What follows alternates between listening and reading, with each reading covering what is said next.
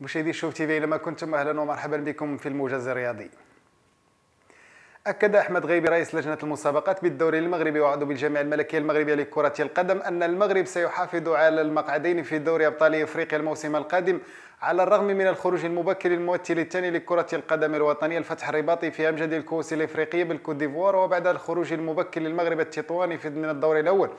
أضاف أحمد غيبي أن المحتل المركزي الأول أي الفائز بدرع الدوري ووصيف هذا الموسم سيشاركان في دوري أبطال إفريقيا وسيخوضان الأدوار التمهيدية ولن يكون معفيان منها.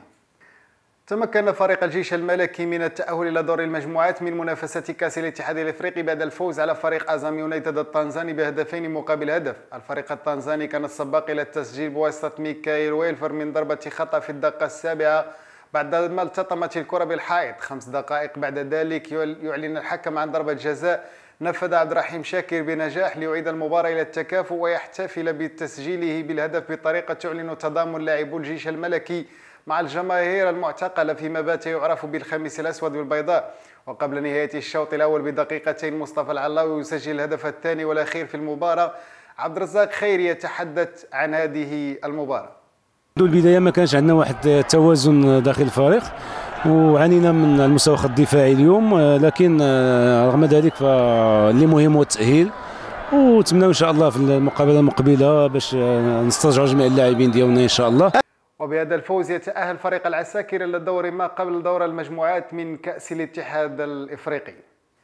ودائما في المنافسات الإفريقية خرج فريق الفتح الرباطي من ثمن نهائي دوري أبطال إفريقيا لكرة القدم بعد العودة بتعادل سلبي من الكوت ديفوار أمام سيوي سبور الايفواري وسيطر أبناء المدرب جمال السلامي على المباراة من بدايتها حتى نهايتها لكن دون فعالية لينتهي المقابلة بالصفر لمثله ليخرج من دوري الأبطال ويمر للمشاركة في كأس الاتحاد الإفريقي.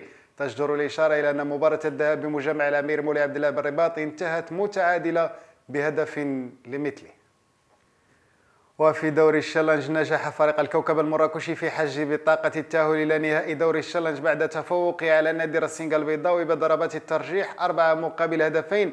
بعدما انتهت المباراة التي تحتضن ملعب الأبجيكو بمدينة البيضاء بالتعادل السلبي بين الطرفين هشام الدميعي مدرب الكوكب المراكشي عقب هذا التأهيل.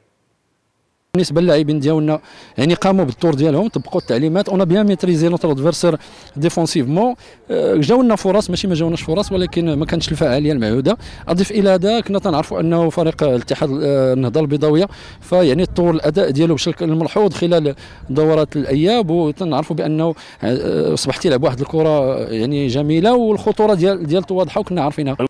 جدير بالذكر أن نظام بطولة ال challenge يشترط على الأندية المشاركة فيه بثلاث لاعبين من الفريق الرديف على الأقل.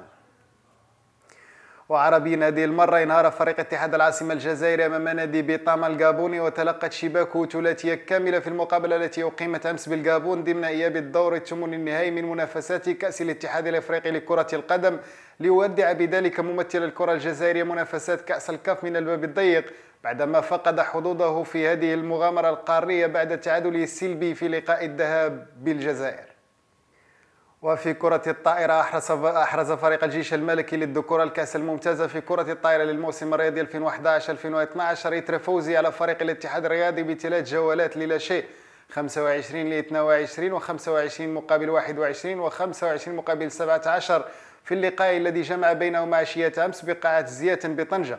وللإشارة فإن فريق الجيش الملكي كان قد فاز بلقب كأس العرش فيما أحرز فريق الاتحاد الرياضي لقب بطولة القسم الممتاز. تمكن فريق أياكس أمستردام الهولندي من الحفاظ على لقبه كبطل للدوري الهولندي للموسم الثالث على التوالي وذلك بتحقيق اللقب الثاني والثلاثين له في الدوري الهولندي. جاء ذلك بفوز عريض على ضيفه فيليم دو بخماسية نظيفة برسم الجولة الثالثة والثلاثين من البطولة الهولندية. وحقق أياكس اللقب على بعد جولة واحدة من نهاية الدوري حيث رفع نقاطه إلى 73 بفارق أربع نقاط على غريمه الأزلي يندوفن الهولندي الذي ضمن المركز الثاني والعبور لدور التمهيد لمسابقات دوري أبطال أوروبا.